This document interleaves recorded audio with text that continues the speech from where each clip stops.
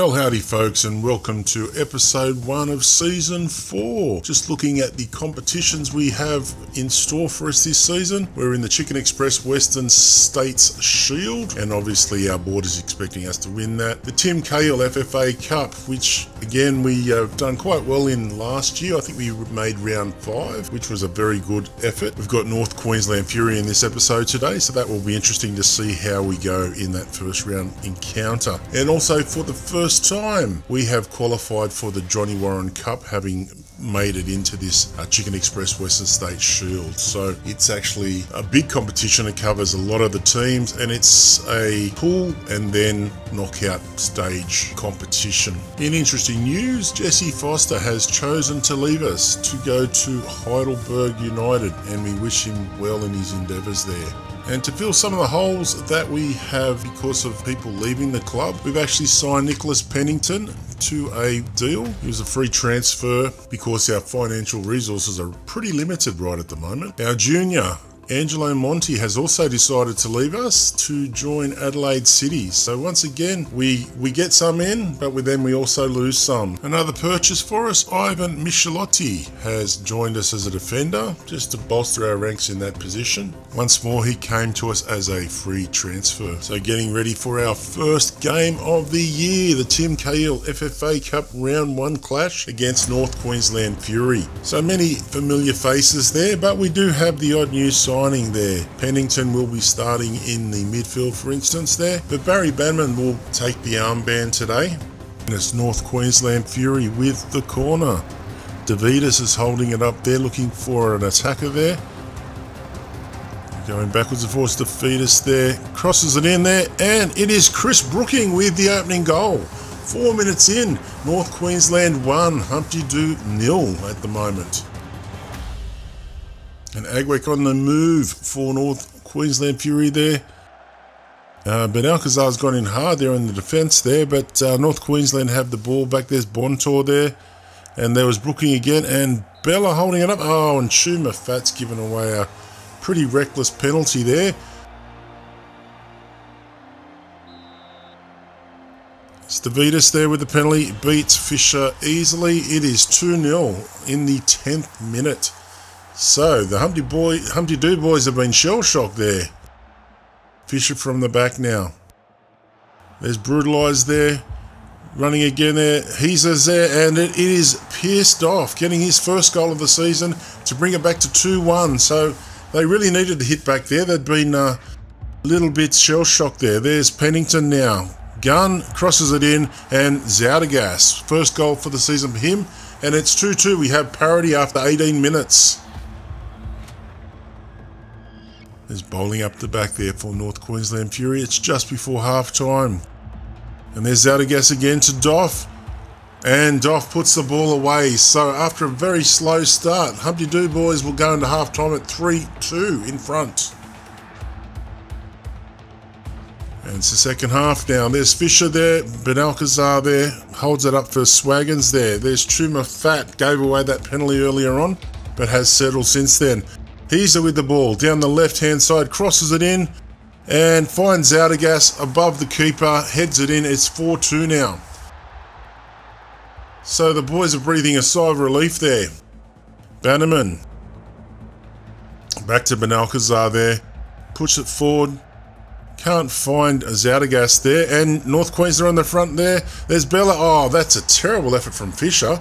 It's gone straight underneath him. So 4-3. So North Queensland Fury are not going away. 65th minute. They push it forward. And there's Isis again, and he's got the goal. And it is 4-4. What a seesawing game this has turned out to be.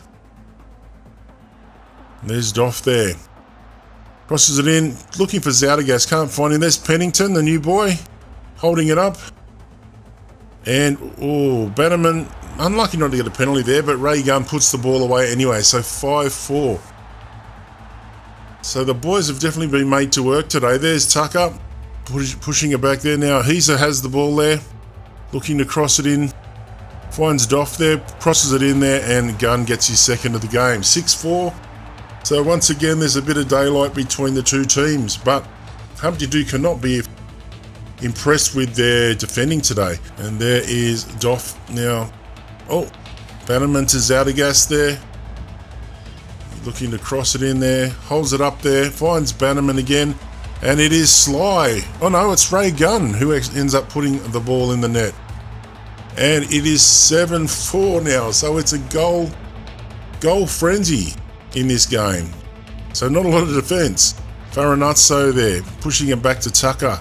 Back to Farinazzo there. There's Doff and Gunn, and he puts the ball away. That's his hat trick for the game, I believe, or maybe even four goals. So it's 8 4. And that is the way that the game finished 8 4. But a few uh, questions in defence there, especially with the start, I would suspect. So, looking at the draw for round two in the FFA Cup, we will once again be playing away to the Western Bears. So, with just a few friendlies under our belt and the one game there, undefeated with a draw against Galiwinku in the friendly. But our next competition game will be the Johnny Warren first game against Sunshine Coast Warriors. In a move to try and bolster our finances, Dildo Swaggins has been sold to Salernitana. So we are looking at a fee of 600k there, which should actually help us. And we also have a clause there for the percentage of the next sale as well. So hopefully that will help us out. And to further bolster our defence, we have signed Siga Koulibaly on a free transfer. A lot of experience with him, so hopefully he can help our defensive line. So the finances for the Dildo Swaggins deal has put us back in the black. So 105k again, but our wage bill will be eating into that very quickly, so don't expect that to do too much for us, but it does give us a little bit of a buffer. And in further news, we are going to be losing Tucker B, but we do have him loaned back for half of the season, so we'll have him till about January before he then goes to the Brisbane Roar. And we do have a clause there and uh, 135,000 for his fee, so hopefully that will bolster us further. So with respect to the Johnny Warren Cup, we are in Group E. Now, there are 20 groups and only 16 places into the next round, so you pretty well need to win your group and win it well to guarantee moving into the next round. So, preparing for our first game in the Johnny Warren Cup against Sunshine Coast Wanderers. Our new boys, Michelotti, Pennington, and Koulibaly from the bench are all in the side today, as well as brutalised and pierced off up front. And there's Bannerman at the back there. Holds it up for Benalcazar. Pushes it forward. There, there's Brutalised pushing it in for Doff. And it is a goal after 22 minutes. 1 0.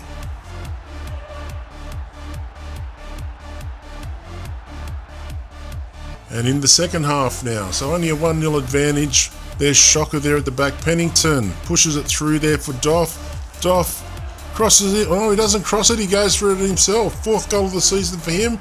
It's 2 0. And Alcazar from the back there.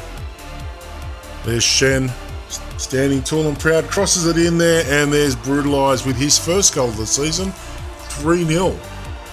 So just starting to put our stamp of authority on the game now. There's Michelotti to Pennington. Shen holding it up, beating his man well. Oh, that's great work. And he's crossed it in for Doff 4 0. So after a slow first half, the boys have scored three unanswered goals in this half, and that is the way that game stayed. So, once again, we have the goal difference anomaly here, which has been fixed in the database. I did put something out about that earlier.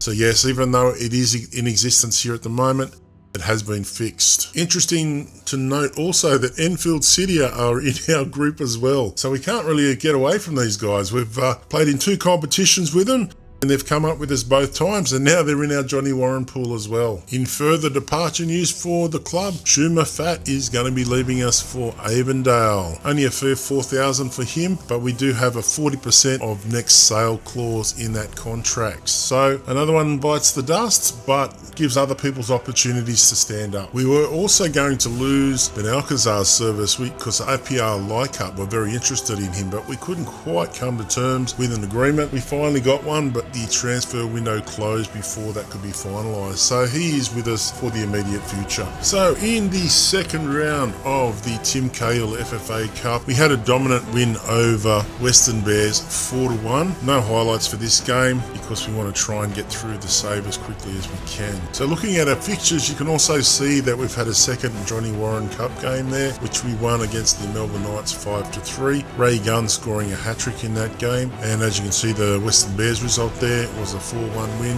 with Ray Gunn scoring two and Brutalise and Lucky also getting goals. We're progressing really nicely, but the next game that we have for you will be the extended highlights for the Blacktown City game in the Johnny Warren. This is a top of the table clash in that competition. Both teams are undefeated after their first two games. Meanwhile, we have drawn Litchfield for round three of the Tim Cahill FFA Cup. So despite the boost of some of those sales, we are still in the red with our finances, but uh, hopefully we can do something to turn that around shortly. And we have decided to sell the sell-on clause for Simbuki, which will give the club a beautiful 1.84 million from Union Berlin. That is going to be very timely and put us into the black for a considerable amount of time. And there you have it, 1.4 million in the black now. A very healthy deal for us at a very important time. And interestingly enough, OGC Nice have sent Dick Splash out for a loan to the League Two side Rodez. Obviously, not getting enough game time for OGC Nice at the moment, so hopefully that will help his development. And here it is, probably the biggest game of the year for us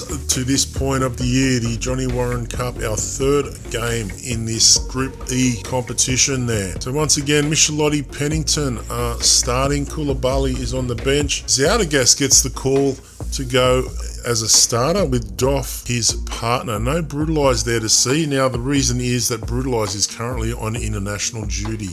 And the teams are lined up on the field, ready for kickoff. Bannerman with the throw there to Zoudegas. Pushes it back to Bannerman, pushes it forward there.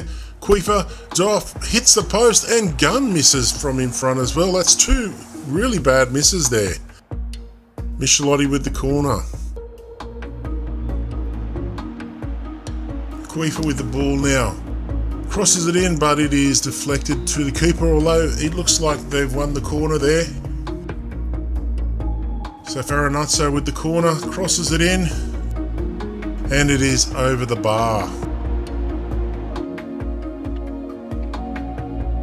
There's Benalcazar pushing it forward, there's finds Zoudegas.